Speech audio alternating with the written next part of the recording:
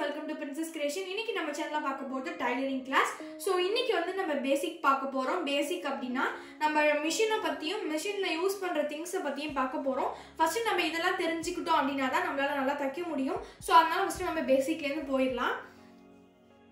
First பார்த்தீங்க அப்படின்னா இது வந்து சின்ன மிஷின் இதுலேயே வந்து உங்களுக்கு பெரிய மிஷின் இருக்குது இது வந்து மோட்டர் அந்த மாதிரி எதுவுமே யூஸ் பண்ணாத நார்மலான சின்ன மிஷின் ஸோ இதோட கம்பெனி பேர் போட்டிருக்கு. மெரிட் இது வந்து நாங்கள் முன்னாடி வாங்கினது ரொம்ப பழசு தான் அந்த மிஷின் பட் இப்போ எந்த ரேட்டுக்கு இருக்குன்னு தெரியல.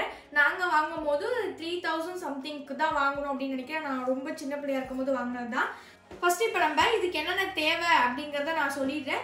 ஸோ அப்போ தான் வந்து உங்களால் ஃபஸ்ட் அடுத்த கிளாஸ் வரும்போது நீங்கள் அதெல்லாம் வாங்கி வச்சுக்கிட்டு ரெடியாக இருக்கிறதுக்கு கரெக்டாக இருக்கும்.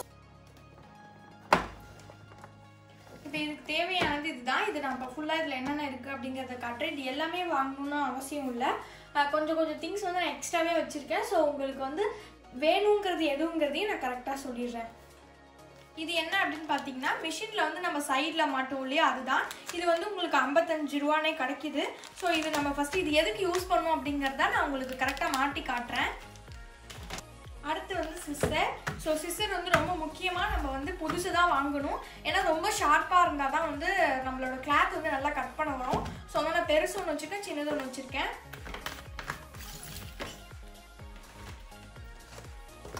அடுத்து பார்த்தீங்க அப்படின்னா இது வந்து நூல். இது வந்து உங்களுக்கு ஒரு பாக்ஸாகவே கிடைக்குது. இந்த பாக்ஸில் வந்து உங்களுக்கு எல்லா டைப் எல்லா கலர்ஸுமே இதுலேயும் இருக்கும். ஸோ நம்ம பாக்ஸாக வாங்கிக்கலாம். இந்த பாக்ஸில் வந்து மொத்தம் இருபது நூல் இருக்குது எல்லா கலருமே டிஃப்ரெண்ட் டிஃப்ரெண்டாக டிஃப்ரெண்ட் கலர்ஸ் ஸோ இதுவே வந்து நம்மளுக்கு போதும் தான். இதுக்கு மேலே வந்து நம்மளுக்கு கலர்ஸ் தேவைப்படாது. ஸோ இது எவ்வளோ அப்படின்னு பார்த்தீங்கன்னா உங்களுக்கு வந்து செவன்ட்டி ருபீஸ்க்கு வந்து கிடைக்குது இத்தனை நூலுமே. நம்ம வந்து அதிகமாக வாங்கணும். ஃபஸ்ட்டு நம்ம கற்றுக்கிறதுனால சும்மா ஒரு ரெண்டு நூல் மட்டும் நீங்கள் வாங்கிக்கிறதுனால வாங்கிக்கலாம். நல்லா கற்றுக்கிட்டதுக்கப்புறமா எல்லா கலருமே நம்ம துணி தைக்கிறப்ப நம்மளுக்கு தேவைப்படும். ஸோ அடுத்து பார்த்தீங்க அப்படின்னா இதில் வந்து நிறையா வச்சுருக்கேன். எப்படின்னா எப்போவுமே வந்து நம்ம வீட்டிலலாம் தையல் தைக்கிறோம் அப்படின்னா அது மாதிரி ஒரு பாக்ஸ் எடுத்துகிட்டு அதில் எல்லாத்தையும் அடுக்கி வச்சுருவோம். ஸோ இது மாதிரி உங்ககிட்ட ஏதாச்சும் இருந்துச்சுன்னா அதில் வந்து அடுக்கி வச்சுக்கோங்க. எல்லாத்தையுமே ஒரே பாக்ஸில் போட்டுக்கிட்டோம் அப்படின்னா உங்களுக்கு வந்து கரெக்டாக இருக்கும். ஸோ இப்போ பார்த்தீங்கன்னா இதெல்லாம் வந்து எங்கிட்ட ஆல்ரெடி இருந்தால் பழைய நூல்.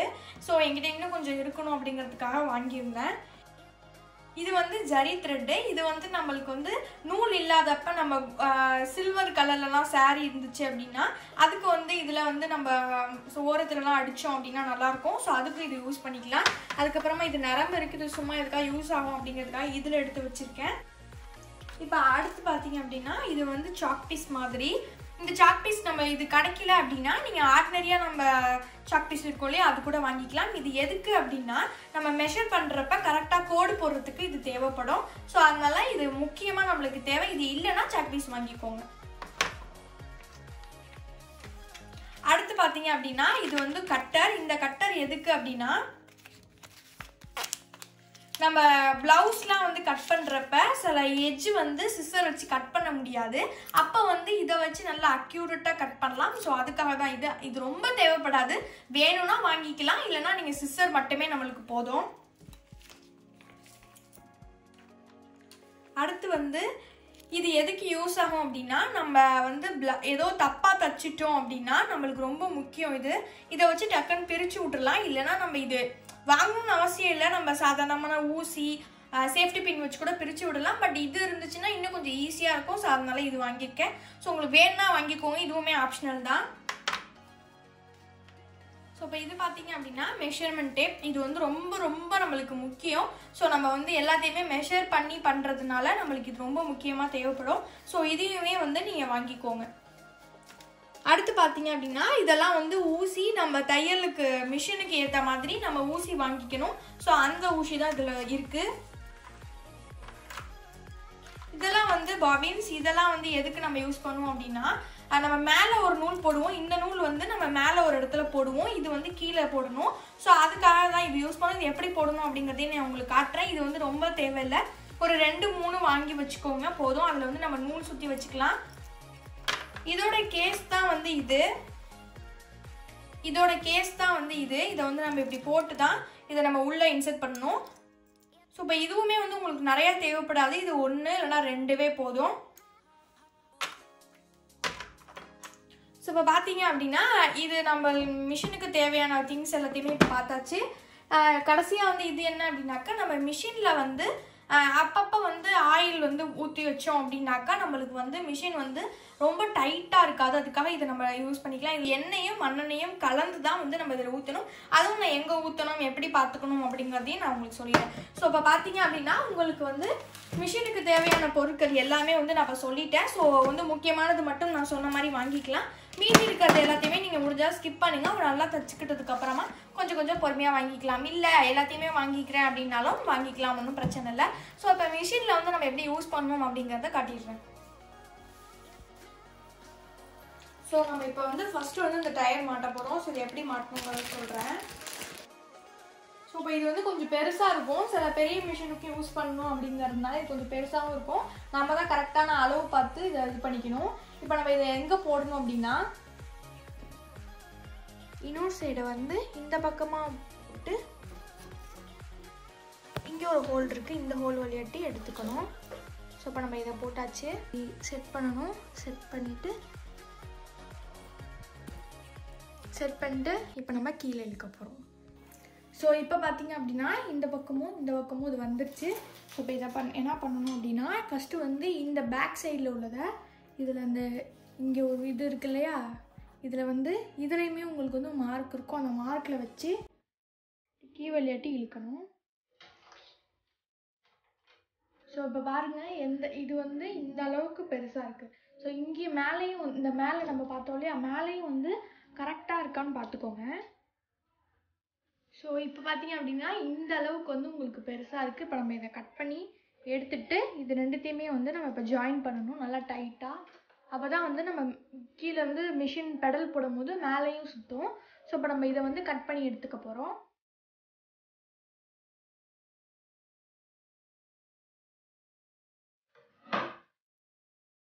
இப்போ நான் இதில் எக்ஸ்ட்ரா இருந்ததை கட் பண்ணி எடுத்துட்டேன்.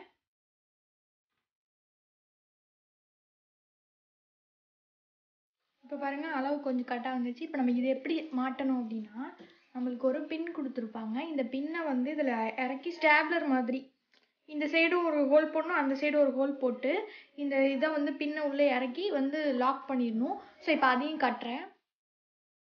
இப்போ பார்த்தீங்க அப்படின்னா இதில் வந்து ஓரத்தில் நம்ம ஹோல் போடணும். ஸோ ஆணி அது மாதிரி பெரிய ஊசி அது மாதிரி ஏதாச்சும் இருந்துச்சுன்னா அதை வச்சு ஹோல் போட்டுக்கோங்க. இந்த மாதிரி ரெண்டு இதுலேயுமே ஹோல் போடணும். கரெக்டாக நம்ம சைஸ் கட் பண்ணதுக்கப்புறமா இந்த மாதிரி ஹோல் போட்டுக்கணும். ஹோல் போட்டுட்டு அதுலேயே வந்து அவங்க பின் கொடுத்துருப்பாங்க இல்லையா? அந்த பின்னை வந்து ஃபஸ்ட்டு நான் ஒரு இதில் மாட்டுறேன் இப்படி ஒரு இதில் மாட்டிட்டேன். ஒரு இதில் மாட்டினோடனே நம்ம மேலே ஃபுல்லாக எல்லா இடத்துலையுமே வந்து கரெக்டாக சைஸ் பண்ணி வச்சுக்கோங்க. இப்போ வந்து ஃபுல்லாக நான் மாட்டிட்டேன். ஸோ இப்போ இதை வந்து இதில் மாட்டணும். இந்த பின்னில் நல்லா டைட்டாக இழுத்து மாட்டணும்.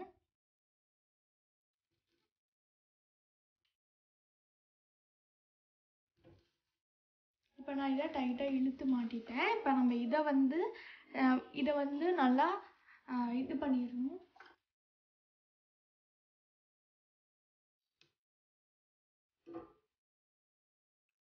பாருங்கள் நம்ம பின் போட்ட இடம் இது. பேக் சைடில் வந்து நல்லா ஃபுல்லாக க்ளோஸ் பண்ணிடணும். இல்லைனா வந்து நம்ம இப்படி வீல்லேருந்து வெளியில் வரதுக்கு சான்ஸ் இருக்குது ஸோ அதை வந்து ஃபுல்லாக க்ளோஸ் பண்ணியாச்சு. இங்கே சுற்றுறோம் இந்த இடத்துல வந்து கரெக்டாக செட் ஆகி உட்காந்துருக்கு ஸோ இப்போ இப்படி சுற்றணும்னா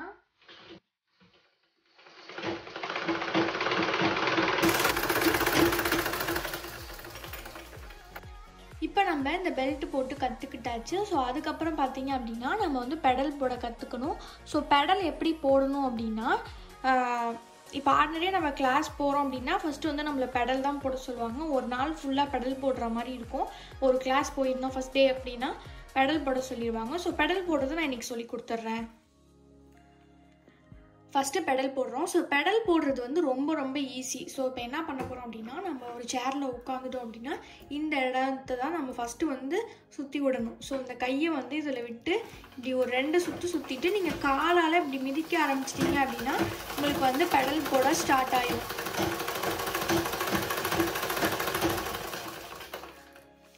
இது மாதிரி பெடல் போடுறப்ப ரொம்ப முக்கியமாக ஊசி இருக்கக்கூடாது. ஊசி எடுத்துருங்க.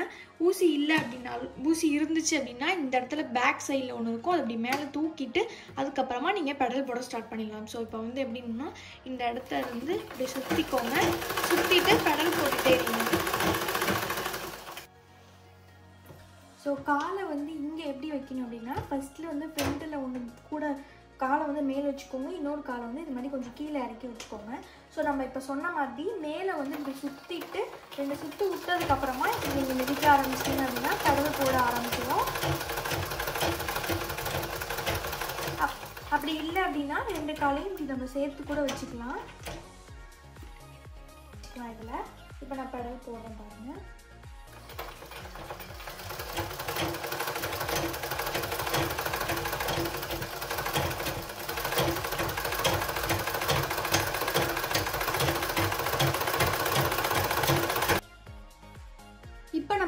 மிஷினை பற்றி பேசிக்கான விஷயத்தை வந்து நம்ம பார்த்துட்டோம். ஸோ என்னென்ன திங்ஸ்லாம் நம்மளுக்கு தேவை? பெல்ட் எப்படி போடணும்? கொஞ்சம் திங்ஸ்லாம் வந்து ரேட் சொல்லியிருக்கேன். ஸோ இதெல்லாம் வந்து இவ்வளோ ரேட் தான் இருக்கும் அப்படிங்கிறதும் கொஞ்சம் பேசிக்கான திங்ஸ் உங்களுக்கு வந்து தெரிஞ்சிருக்கும். இப்போ வந்து நம்ம பெடல் போடுறத முக்கியமாக இதில் கற்றுக்கிட்டோம் அப்படின்னு நினைக்கிறேன். பார்க்க ஈஸியாக இருக்கும். பட் ஆனால் வந்து நம்ம நிறையா ட்ரை பண்ணணும் பெடல் போடுறதுக்கு. ஃபஸ்ட்டு ஸ்டார்டிங்கில் சுத்தமாக தெரியல அப்படின்னா கொஞ்சம் கஷ்டமாக இருக்கிற மாதிரி இருக்கும். நம்ம ட்ரை பண்ணிட்டோம்னா செம்ம ஈஸியாக இருக்கும். அதுக்காக தான் ஃபஸ்ட்டு பேசிக்கே வந்து நம்ம எல்லாத்தையும் சொல்லிக் கொடுக்க வேணாம். கொஞ்சம் கொஞ்சமாக சொல்லிக் கொடுக்கலாம் அப்படின்னு தான் இன்றைக்கி பெடல் போடுறதும் என்னென்ன தேவை? மிஷினில் எப்படி பெல்ட் போடுறது மட்டும் நான் இந்த கிளாஸில் சொல்லிக் கொடுத்துருக்கேன். அடுத்த கிளாஸ் பார்த்தீங்க அப்படின்னா மிஷினில் எப்படி ஊசி போடுறது பாபினில் எப்படி நூல் சுற்றுறது இந்த கேஸ் எப்படி நம்ம போடுறது நூல் எதில் மாட்டணும் அப்படிங்கிறது எல்லாமே அடுத்த கிளாஸஸில் பார்க்க போகிறோம் ஸோ வந்து ம இன்னும் நம்ம சேனலை சப்ஸ்கிரைப் பண்ணலைன்னா மறக்காமல் சப்ஸ்கிரைப் பண்ணிக்கோங்க. கிளாஸ் வந்து தொடர்ந்து வந்துட்டுருக்கோம் ஒரு நாள் விட்டு விட்டு உங்களுக்கு கிளாஸ் இருக்க போது கரெக்டாக ஆறு மணிக்கு என்னோடய வீடியோ நான் போடுவேன். எல்லாத்தையுமே நோட் மறக்காமல் நோட் பண்ணி வச்சுக்கோங்க. எதாக இருந்தாலுமே நோட் பண்ணால் தான் நம்மளுக்கு கரெக்டாக இருக்கும். ஸோ சர்டிஃபிகேட் இதுக்கும் உண்டா அப்படின்னு சொல்லிட்டு நிறைய பேர் கேட்டிருக்கீங்க. சர்டிஃபிகேட்டை பற்றின அப்டேட் நான் வர கிளாஸஸில் அப்டேட் பண்ணுறேன் ஸோ சர்டிஃபிகேட் ஹண்ட்ரட் பர்சன்டேஜ் இருக்கும். இருந்தாலும் அதோட ப்ராசஸ் என்ன அப்படிங்கிறத நான் உங்களுக்கு சீக்கிரமாகவே ஒரு கிளாஸில் அப்டேட் பண்ணுறேன் ஸோ தேங்க்யூ ஃபார் வாட்சிங் இன்னொரு வீடியோவில் பார்க்கலாம்.